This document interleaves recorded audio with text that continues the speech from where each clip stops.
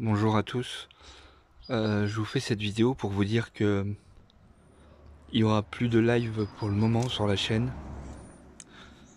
Euh, ma mère a été transportée ce matin en urgence par le SAMU et les pompiers.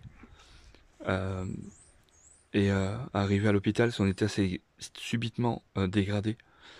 Là, ils viennent de m'annoncer il y a quelques minutes, là, au moment où je l'enregistre, que ils la mettent en réanimation.